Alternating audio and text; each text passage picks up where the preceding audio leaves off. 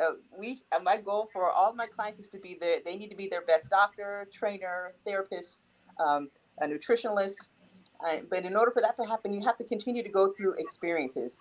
And we often we just want it like this but we forget that it's the learning is in the journey. The learning is in those down moments where okay that didn't work as well as i wanted it to. Okay i was doing this and now my way went up here. Okay now what should i do now? And if you continue to reevaluate to readjust it that's how you get better. That's how you learn how you grow. So Right, right.